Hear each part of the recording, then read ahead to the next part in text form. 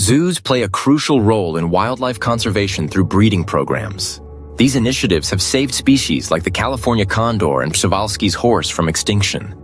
Some animals are even reintroduced into their natural habitats.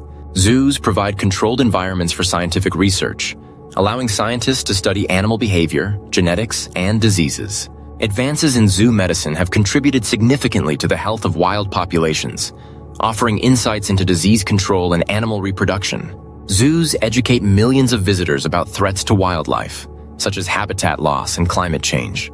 By raising awareness, they encourage public support for conservation efforts, inspiring people to take action to protect endangered species.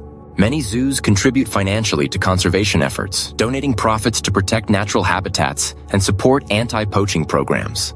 Accredited zoos often fund projects worldwide, aiding in habitat restoration and community education. Despite their contributions, zoos face ethical concerns.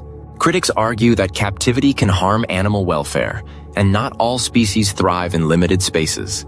Additionally, the focus on charismatic animals often leaves less popular endangered species overlooked. Well-managed zoos must prioritize animal welfare and habitat protection to truly benefit conservation.